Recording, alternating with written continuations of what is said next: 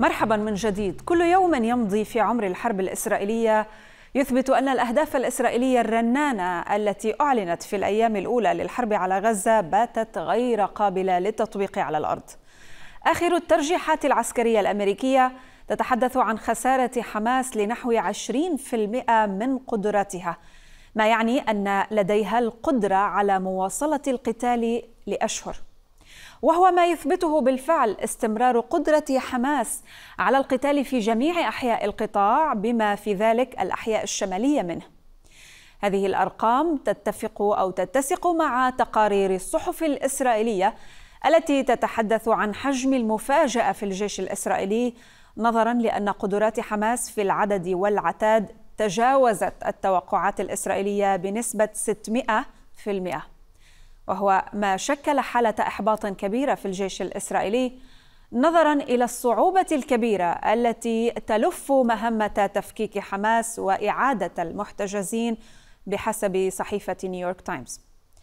مأزق آخر يواجه الجيش بحسب الصحيفة يتمثل في غياب أي خطة لمرحلة ما بعد الحرب وهو ما يثير خشية قيادات الجيش من تآكل الدعم الدولي حال إطالة عمر الحرب التي دخلت شهرها الرابع كل ذلك جعل الأصوات الداعية للقضاء على حماس وتحرير الأسرى عسكريا تخفت تدريجيا لصالح مقترحات التسوية السلمية. من القاهرة ينضم إلينا اللواء أحمد إبراهيم كامل نائب مدير المخابرات الحربية المصرية الأسبق. ومن تل أبيب ينضم إلينا المقدم المتقاعد الدكتور ريوفين بيركو الخبير في شؤون الشرق الأوسط. سأبدأ مع ضيفي من القاهرة لواء أحمد. مرحبا بك معنا. يعني أصوات في إسرائيل. إيهود باراك مثلا يقول حماس لم تهزم وثمة غياب لهدف واقعي في إسرائيل وهو ما يؤجل النصر العسكري. كيف تعلق على هذه الأصوات؟ طبعا مساء الخير لحضرتك وللسادة المشاهدين.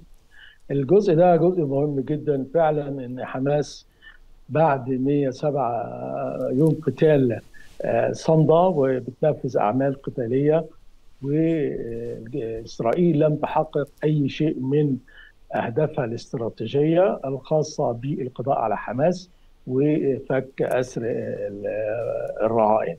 إنما هي نجحت في تحقيق بعض الأهداف التكتيكية الخاصة بال الأعمال التوغلات وتفكيك البنية التحتية لأجزاء كثيرة من الأنفاق. وفي نفس الوقت عملية تدمير بعض منصات الصواريخ. إنما القدرات العسكرية لحماس وعملية المناورة الخاصة بالأنفاق. إن إسرائيل حتى الآن لم تصل إلى فك الشفرة الخاصة بالأنفاق للمقاومة الفلسطينية في غزة وحتى باليوم حتى كان في بعض الاشتباكات الموجودة في منطقة جباليا أو في منطقة بيت حنون وبين وبيت لاهيا والنصيرات. دليل إن المقاومة الفلسطينية فعلا حققت المفاجأة بأن هي عندها حجم كبير جدا من الأسلحة والمعدات وكانت عاملة حسابها إلى حرب طويلة المدى. لتنفيذ بعض أعمالها القتالية ضد جيش الدفاع الإسرائيلي رغم إن جيش الدفاع الإسرائيلي بيمتلك العديد من الترسانة العسكرية في القوات الجوية والقوات البحرية وقوات النخبة أكثر من ثلاث فرق بتحارب حاليا في غزة. في نفس الوقت إن القوات الإسرائيلية عندها القدرة كل يوم بتزداد قوة لأن القوات الإسرائيلية في دفع جديد للقوات القوات اللي كانت موجودة في بداية العملية استهلكت وحصل فيها خسائر كثيره جدا فابتدت تنسحب وابتدى الجانب الإسرائيلي يدفع قوات جديدة قادرة على تنفيذ أعمال قتال جديدة وتستمر لمدة أطول. في نفس الوقت الجانب المقاومة الفلسطينية عملية كل يوم إمكانياته وقدراته بتقل نتيجة الحصار اللي موجود على قطاع غزة ونتيجة الخسائر اللي موجودة وفي نفس الوقت تقلص القدرات والإمكانيات الخاصة بأعمال الصواريخ وقدرات الجانب الإسرائيلي على تنفيذ بعض الضربات للبنية التحتية لقوات المقاومة. وفي نفس الوقت العامل النفسي والإجهاد الذهني والبدني لعناصر المقاومة اللي بتقاتل أكثر وصامدة لمدة أكثر من من 100 يوم من خلال تفوق الجانب العسكري الإسرائيلي من ناحية القوات الجوية وأعمال الحرب الإلكترونية وأعمال المراقبة والاستطلاع مش هي بس كده لأ ده القوات الأمريكية موجودة بتساندها وبعض الاساطيل الموجودة خاصة الجانب الإنجليزي بيزودها خاصة في مجال المعلومات والاستخبارات. نعم. الجانب الفلسطيني صامت طيب. 100 يوم آه طيب سأعود إليك لكن دكتور ريوفين ما هي وجهة النظر الإسرائيلية؟ يعني هآرتس قالت اليوم بأن حركة حماس ليس فقط يعني ما زالت تقاتل وإنما بدأت بعملية إعادة تموضع وتعيين قادة جدد في المعركة. كيف تنظرون إلى مثل هذه الحقائق؟ مساء الخير لك ولضيفك الكريم وللمشاهدين. أول شيء بدي أتطرق ولو بجملة قصيرة إلى ما قال السيد الرئيس السابق السنيورة عن لبنان عندما استعمل كلمة المظلومية اللي بدأ إسرائيل تتغطى بها المظلومية هي تشويش لكلمة مستضعفين اللي هم حزب الله والتي تحت العنوان هذا استولوا على لبنان. وجوابه غير دقيق حيث أن أنني لست متاكدا انه حزب الله لا يريد حرب يعني على أنت أنت تصر دائما على فتح جبهة. دكتور ريوفين لن أسمح. دكتور ريوفين لن أسمح بفتح جبهة مع شخص غير موجود. تخريب لبنان من خلال فكرة المهدي تبعتهم. سيد ريوفين على لبنان دكتور ريوفين الحتى والحذر دكتور ريوفين لو سمحت. بخصوص الرهاين لو سمحت لن أسمح باتخاذ هذا المنبر للرد على شخص ليس موجودا. هآرس تفضل. أنا شوفي أنت حاولتي تقاطعيني ولكن أزمتوني عشان لا لا أنا قلت لك بصراحة أنا لن أسمح بالرد على شخص غير موجود والخطاب والأسئلة لم تكن موجهة لك دكتور رئوفين لك ان تسدي ما أنا أقوله وأنا لم أصيب السيد السنيوره بل أحترمه جدا. بس صححت غلطته بالمعطيات. وهذا من حقي كإنسان دكتور رئوفين الأسئلة المتوجهة ل... ننطلق إلى لدولة الرئيس السنيورة لم تكن موجهة لك. أرجوك الالتزام بمحور لا حلقتنا. هي تتكلمت عن إسرائيل وأنا إسرائيلي الجميع يتكلم عن إسرائيل. دكتور رئوفين الجميع يتكلم عن اسرائيل عن إسرائيل. هذه وجهة نظر. تكلم عن مظلومية إسرائيل. وإنت تضيع وقت من خلال نقاش معي بينما أكيد تريدين والمشاهدين أن يسمعوا جوابي بخصوص الأسئلة الطارئة الآن تفضل مثل ما أنت. بكل احترام طرحتيها لي أنا مستعد ولكن ليس هنالك مخلوق يسد تم إسرائيل من خلال ديمقراطيته وأنا م. يعني على استعداد أن أنا أجاوب على قولك نحن الإسرائيليين صرنا مدللين شوي تعودنا على حروب خصمنا فيها أعدائنا وهزمناهم خلال أيام قليلة. ولكن الحرب على الإرهاب تستغرق أشهر أو حتى سنين. وأذكر حتى ضيفك الكريم إنه حرب مصر على الدولة الإسلامية داعش في ولاية سيناء في في سيناء. تستغرق حتى في هذه الأيام. هناك عناصر إرهابية تقاتل وتقتل جنود وضباط مصريين في ولاية سيناء. وأيضا الإخوان المسلمين تبعتهم لا يزالوا ينشطون تحت الأمن المصري طيب. بشكل مستديم. دكتور ولذلك ماذا تريد أن تقول؟ يعني يفكر إنه هنالك يعني شي صيغة صخرية للقضاء على الإرهاب.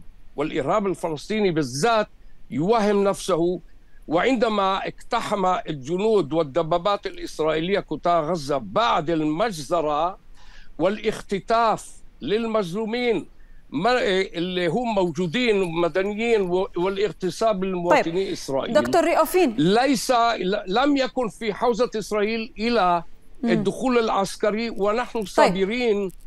كثير ولدينا الإمكانيات وأنا مع سيد العميد الذي ذكر قدرات إسرائيل بالتعاون الجوي والبري والبحري والاستخباراتي. ونحن ننصح للجميع الذين يقرؤون جريدة هآرتس أن يصبروا والنتيجة سوف تأتيهم مفاجأة، نحن لم نتفاجأ مما لقيناه في قطاع غزة ونتقدم رويدا رويدا بحذر لأنه جنودنا أغلياء علينا كثير لا طيب. ندحي فيهم ونحافظ على مواطنينا بينما هؤلاء الحمصويين يتخبؤون في الأنفاق ويستهتروا في حياة المواطنين الفلسطينيين الذين يحتمون الذين تقتلهم إسرائيل. تحتهم كذراع بشري. طيب. ابقيا معي ضيفاي لو سمحتما مشاهدين هذه المآزق التي يواجهها الجيش الإسرائيلي. ترجمتها كتائب القسام في المعارك المشتعلة على الأرض في محاور عدة داخل قطاع غزة. أعنف المواجهات بين القسام والجيش الإسرائيلي ما زالت تدور في أحياء جباليا وبيت حانون شمال القطاع ومنطقة خان يونس في جنوب القطاع. مواجهات تقول القسام إنها قائمة على مباغتة التجمعات الإسرائيلية بزرع العبوات الناسفة واستهداف الآليات الإسرائيلية معتمدة على سهولة الحركة التي توفرها لها الأنفاق. هذه المواجهات تخلق شكوكا في الرواية الإسرائيلية التي أكدت في مرات عدة استكمال مهمتها في شمال القطاع قبل الإعلان عن بدء عملياتها في جنوبه. واليوم وبعد أسابيع من ذلك الإعلان لا يزال الجيش الإسرائيلي يتكبد العديد من القتلى والجرحى في صفوفه دون تحقيق أي من أهدافه المعلنة وعلى رأسها تحرير المحتجزين لدى حماس. سأعود إلى ضيفي من القاهرة اللواء أحمد إبراهيم كامل. لواء أحمد عندما نقول الأهداف المعلنة ما هي أهداف إسرائيل غير المعلنة؟ هل يعقل بأن يكون هدف إسرائيل معاكس لما أعلن مثلا أن لا تكون مهتمة فعليا بأمر الأسرة والهدف الاستراتيجي هو جعل القطاع على ما هو عليه أي تدميره وليس القضاء على حركة حماس وإنما تحجيم حماس. طبعا هو في بداية العملية صرح رئيس الوزراء الإسرائيلي أن الهدف من أعمال القتال الخاصة بغزة هي تغيير خريطة الشرق الأوسط. وكل ما تنفذه إسرائيل حاليا على الأرض خلال وخلال ال 107 يوم السابقين عملية حرب إبادة وتدمير للبنية التحتية لقطاع غزة لتصل إن قطاع غزة غير قابل للإعاشة سواء لأي بشر سواء الفلسطينيين أو غير الفلسطينيين. وكان الهدف الغير معلن اللي حضرتك قلتيه إن هي عملية التهجير القسري لسكان غزة في اتجاه القاهرة وفي اتجاه مصر أو سيناء وبالتالي حل القضية الفلسطينية على حساب مصر. وده الشيء اللي حذرت منه مصر وأكدت عليه أكثر من مرة. وفي نفس الوقت وخلال الأسابيع الأخيرة والأيام الأخيرة لا زالت بعض الوزراء من حكومة المتطرفة اليمينية الإسرائيلية بتؤكد عملية التهجير القسري للفلسطينيين. وابتدى نوع من الكلام أو بعض التلميحات الخاصة بإمكانية التهجير الطوعي.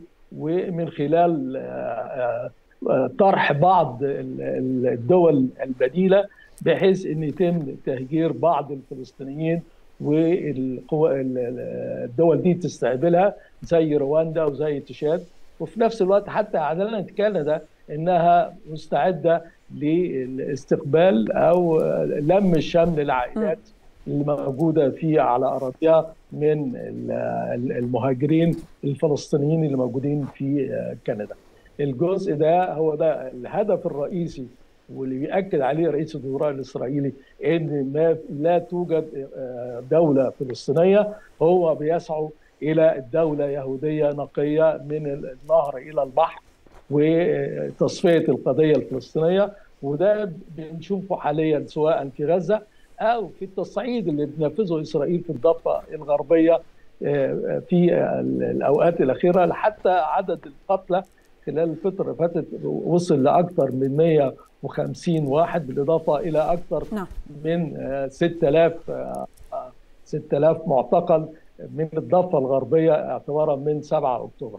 الجزء ده إسرائيل بتهدف إلى تصفية الدولة الفلسطينية ولا تقبل إقامة حل الدولتين اللي بتنادي فيه الشرعية الدولية والمبادرة السلام طيب. العربية وفي نفس الوقت الولايات المتحده نعم. مصره على هذا الكلام إنما يرفض هذا الكلام نتنياهو والحكومة المتشددة الاسرائيليه. طيب دكتور ريوفين صحيفة وول ستريت جورنال نقلت تقرير سري بأن عن الولايات المتحدة طبعا بأن حركة حماس ما زالت تمتلك كميات كبيرة من الذخيرة تستطيع مواصلة القتال لأشهر عديدة هل إسرائيل مستعدة لهذا الخيار هل ستستمر في القتال أيضا بدورها؟ بدون شك ولكن يعني جواب على أقوال سيد اللواء إسرائيل لم تقم بمجزرة 7 أكتوبر بغية طرد الفلسطينيين والتطهير الأرقي كما يناسب لها. نحن مش البادي. البادي هو الأظلم. من قام بهذه المجزرة هم الفلسطينيين. ومن كلامك سيدتي الكريمة قد يفهم المشاهد أننا يعني فاشلين وحماس هو المنتصر. وأقول لك بكل صراحة ومن خلال تأكد نفسي أنني أتمنى لحماس انتصارات من هذا القبيل في الأيام والأشهر والسنين القادمة بإذن الله. أنا من صميم قلبي أتمنى لهم نفس الانتصار الذي يفوز فيه في هذه الأيام. ويعني إذا أردنا أن ندخل بالتفاصيل نعم لم نفاجأ عرفنا الفجأة الوحيدة اللي فشل استخباراتي الإسرائيلي مبين وعلي أن أعترف بذلك هو مجرد الهجوم الفجائي الذي قاموا فيه واغتصبوا وقتلوا ونهبوا واختطفوا المواطنين فوق ال 1200 نفر اختطفوهم إلى داخل القطاع. وهل يسأل السائل في هذا التوقيت بالذات هل هو الوقت المناسب للتفكير بجزاء الفلسطيني بدولة؟ أذكرك والمشاهدين إنه حتى في الضفة الغربية عقد مؤخرا استفتاء. يقال فيه إنه معظم الفلسطينيين في الضفة الغربية يؤيدون حماس والسلطة الفلسطينية التي ترونها المناسبة لحكم غزة والضفة قال أسامة حمدان إذا يأتوا على الدبابات الصهيونية سوف يكون مصيرهم الموت. ونذكركم أيضا إنه السلطة التي حكمت قطاع غزة شنكت ورميت من أسطح البنايات ويعني وهربت يعني زحفت إلى إسرائيل طالبين بالنجاة. واليوم أيضا في الضفة الغربية هم في خطر وتعاونهم الاستخباراتي مع إسرائيل هو لصالحهم بالذات لأنه حماس عمله بتسلسل في صفوف الجنوب وكل الأعمال اللي بتصير اللي وصفها بوضوح السيد اللواء هي أعمال أه. تحريبية شكرا. اخوانجيه شكرا جزيلا. تابعة لاخوان المسلمين ولحماس. وهذا شكرا جزيلا المقدم المتقاعد الدكتور ريوفين بيركو الخبير في شؤون الشرق الأوسط. الشكر موصول لضيفنا من القاهرة اللواء أحمد إبراهيم كامل نائب مدير المخابرات الحربية المصرية الاسبق شكرا جزيلا لكما.